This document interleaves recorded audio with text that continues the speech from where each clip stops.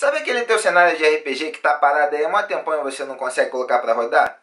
Vamos falar sobre ele hoje.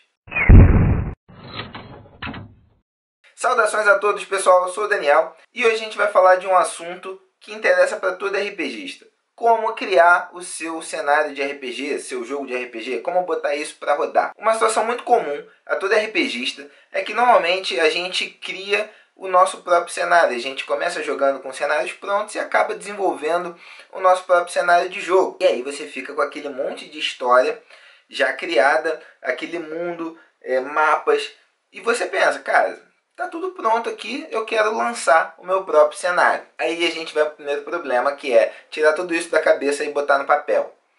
Normalmente, aí é onde a maior parte das pessoas param. Mas tem aqueles que passam dessa fase, pegam toda aquela ideia do cenário que eles têm e colocam no papel. Aí a gente vem para uma segunda grande barreira, que é publicar isso em um sistema. Muita gente acaba querendo desenvolver um sistema, o que é uma situação relativamente complexa. Você tem que fazer muito playtest, você tem que é, pensar em muitas variáveis e outras acabam não tendo um sistema é, ou que se enquadre no que ele quer para o jogo dele, ou não sabem como acessar um sistema para poder lançar aquele jogo. E se você está enquadrado nessa galera, eu sugiro fortemente que você considere publicar o seu cenário utilizando Savage Worlds. Se você ainda não conhece, Savage Worlds ele é um livro genérico, já tem seis anos que nós lançamos ele aqui no Brasil. E além do livro básico, a gente já lançou também os compêndios, a gente também já lançou vários cenários. E o Savage Worlds ele não é só um sistema genérico. Eu, Daniel, até hoje não achei um outro sistema que se enquadre tão bem em estilos de jogos tão diferentes. Já faz algum tempo que a gente vem analisando esses cenários de Savage Worlds, a gente vê livros é, tanto produzidos nos Estados Unidos quanto na Europa, é, fora desse eixo, o caso do Inter Eterno, por exemplo, que é da África do Sul, e a gente sempre se questiona que a gente não tem um cenário brasileiro de Savage Worlds. O Savage ele é uma ferramenta interessante porque, como ele já é um jogo muito consolidado lá fora, lançar um cenário para Savage Worlds quer dizer também que esse cenário vai conversar muito com todo mundo, literalmente todo mundo. Basta fazer a tradução. Então já está mais que na hora da gente fazer esse movimento. Ah, Daniel, mas meu jogo é steampunk. Casa com Savage Worlds. Ah, Daniel, mas meu jogo é sci-fi maluco com alienígena. Casa com Savage Worlds. Ah, Daniel, meu jogo é low fantasy num medieval apocalíptico. Casa com Savage Worlds. Gente, se você parar para ver os tipos de jogos que a gente tem em Savage, você vai ver que ele casa muito bem com tudo. E por que, que a gente resolveu abordar esse assunto? É, assim como você, muitos de nós aqui temos nossos cenários, e eu sou um deles, e meu cenário ele andou melhor quando eu decidi converter ele para Savage Worlds, que eu, precisei, eu pude me livrar de um monte de amarras, um monte de aspectos, paradigmas que eu tinha que dar uma volta muito grande para adaptar. E eu vi que lançar o cenário para um sistema já pronto, ele facilita demais a nossa vida. Porque você tira uma parte bem complexa que é criar um novo sistema. E um outro ponto, gente. Além dessa parte complexa de criar o sistema, existe um outro ponto que é as pessoas querem um novo sistema o quanto que eu vou ter de fazer um esforço para as pessoas se interessarem em ler meu material. Porque muita gente pega, ah, isso é um sistema diferente, não quero.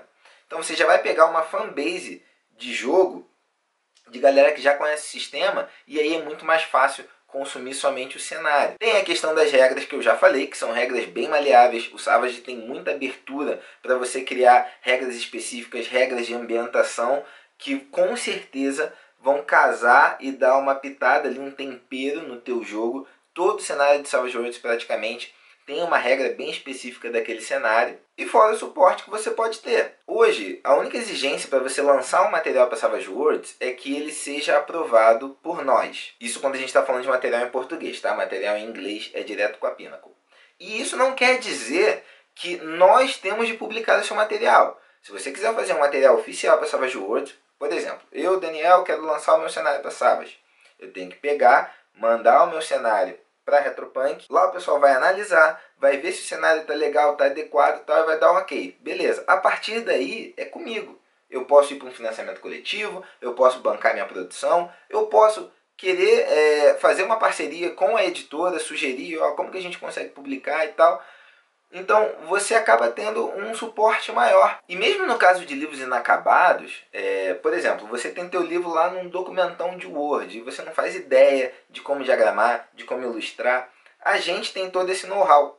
Então a partir do momento que você manda o cenário, a gente leu, viu que ele tem potencial, que ele está de acordo com as regras, a gente pode te direcionar profissionais da área, profissionais de ilustração, diagramadores, para realmente dar corpo para o teu livro. Ou se a ideia for fazer uma parceria conosco e a gente chegar no entendimento, a gente pode tocar essa parte toda.